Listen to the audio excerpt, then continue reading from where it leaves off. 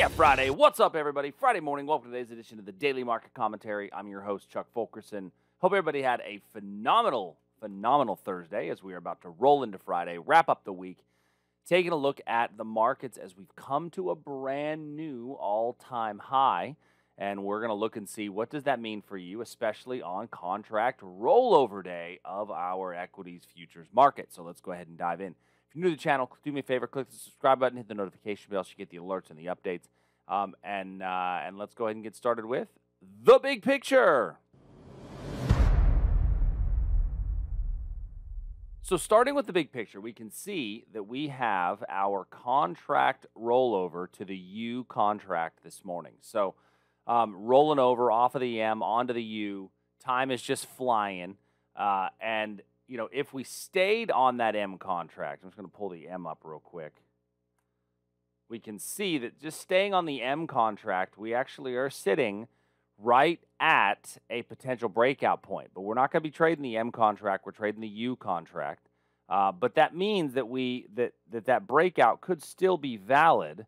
Um, if I just put that U up here, you'll see, you know, kind of what that is.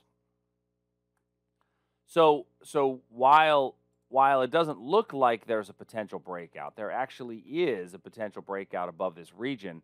Um, and so I wouldn't really, you know, we are sitting at the gap, the contract rollover gap uh, on this position. That's actually, uh, you know, one of the things that we do tend to look for is the contract rollover. But I'm to, you know, maintain my overall bullish stance and keep an eye on this 15 minute level right in here for a potential reversal as we come into that region.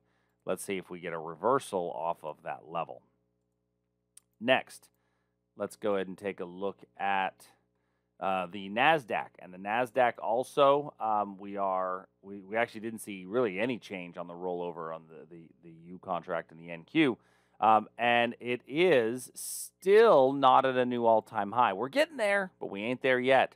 Um, but we you know we kind of hit that four hour supply where I said that I anticipated us basing in front of and then giving us a little breakout. So those of you that took that, you've gotten you know about a about a 40 or 50 point move out of that breakout region um, the second time we came back up into it. Now we uh, if you didn't get there and you want to give uh, a little bit of a retest to try, that 15 minute level that we just found in the S&P is also prevalent in the Nasdaq.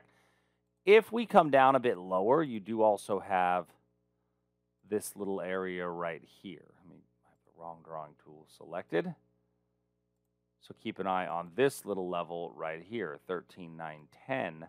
Um, if we don't reverse right up here at this area, then this 13,910, 13,897 is also valid. So overall, keep the bullishness kind of in check. That, uh, you know, I, I don't know that I'd be buying right at the open, uh, but I definitely think you could get a, a retest on a pullback to some of these areas. The Russell we talked about, interestingly enough, the Russell we talked about as our as our uh, strongest market and looking for that breakout. The Russell's actually pulling back in the last few days. Uh, and the pullback that we're seeing in the Russell, we came back to our area of demand and now we're basing in front of it. The Russell is actually significantly weaker than the other two markets. So just keep that in mind when looking at our uh, our equity markets is the weakness that we are seeing in the Russell. So if you think that we're going to have a bit of a bearish day, the Russell below here would be the way to go um, on a on a bit more of a bearish day. Uh, taking a look at crude oil. So looking at crude oil, we we've talked about the fact that we're looking to buy on pullbacks. We did get a retest to some of our areas of demand. Let me take uh, some of these out. And then we had a huge kind of just a whoop whoop move. Uh, that's the technical trading term. Whoop whoop. Um, you know, was it wicked way down, wicked right right into demand, and then right back up. Uh, and so I'm going to remove some of these areas, clear out some of those. Uh, and then the next level that I think would make the most sense to be looking for would be off of the smaller time period This one here is a really clean level. Nice strong move away, right at 70, whole round number. Now, 70 was our price target on oil a long time ago, and we've gotten above that area. So, is this rally getting a bit long in the tooth? I think it is. Um, I think this rally is getting a bit long in the tooth, and so uh, just be a bit more cautious. Uh, I, I, feel like it's uh, it's going to continue to go up until it stops, but I think that the, that our upside rally is getting long in the tooth. We've hit our price target of 70. Um, could we see 80? Yeah, I guess we could. I mean, there's no question. Um, but wait for, I think you we may see a bit of a pullback to this 65, 66 region soon. All right. And then last but certainly not least is gold. We've maintained our bullish bias in gold overall. We got uh, this gold demand area where we based in front of the level. We got a nice touch and go off of it, um, and then we were basing in front of it through here. Uh, but then the real good demand level, which is the one that we talked about on Wednesday's DMC, was the origin of this move. We hit that yesterday and got a really strong move away from that level. So hopefully you're able to catch that and get a little run out of that trade. And so now, if I take a look at this, I would look for a potential breakout trade above here. That's going to be my best setup. Now, overnight, we've really sold off pretty hard in gold. Um, but that that still actually just gives me my third touch, allowing for a better breakout if price comes back into there. From a demand standpoint, I really don't have super clear demand. I mean, I could go to the 15 minute, but even on the 15 minute, none of this is very clear. And we know that this is a retest of this area here to the left.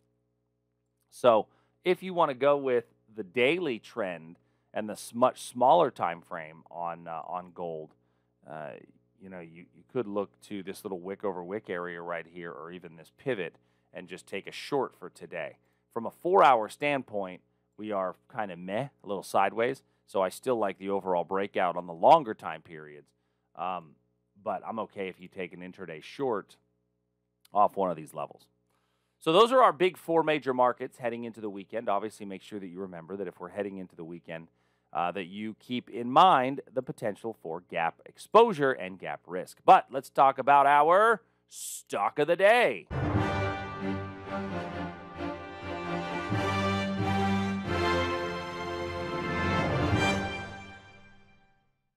So the stock of the day we're going to talk about today is PNC, PNC Financial Services Group. Uh, PNC Bank, uh, as they uh, as it's located in Pittsburgh uh, Pittsburgh, Pennsylvania. You know, as as a Pittsburgh Pirate fan that play in PNC Park, um, I'm bearish on PNC because I'm bearish the Pirates. No, um, we had a uh, we actually did have a pretty nice move on PNC on a breakout trade. This was a, a position that we had talked about a couple of months ago. Uh, and we got a decent move out of that level, about $20 a share. Well, now we're seeing a lot of weakness. And yesterday we put in a bearish engulfing candle on the daily chart. And that bearish engulfing candle on a daily chart is always something to pay attention to. And so when I trim down to the hourly level, I look at where is a decent level of supply to get short. You have a really nice level of supply right here at 190.08 by 190.67. Now, if we look at our bid and our offer, we're trading at 187 by 193. So the chances of us opening up at 190 are actually pretty good. And I think that old resistance oftentimes acts as new support uh, that would actually be a really nice entry point for a potential intraday short um, on this position.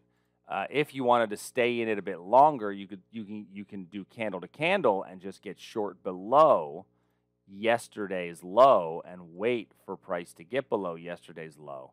Um, if you wanted to go that route and then your stop goes above yesterday's high, with I think your target, um, I think your I think your your best and most most highly lucrative target is going to be this area down here, which, by the way, becomes a really nice area of demand for a potential reentry. But if we break below here, I think that there's really not a whole lot to stop it. Obviously, take some money off the table at two to one. So, um, PNC Bank, I think a pretty good bearish setup and a, and a, decent bearish opportunity for the day. But that's all I have for today, everybody. Uh, have a have a great weekend. Have a safe weekend and I will talk to you Sunday night in the live trade room. See ya.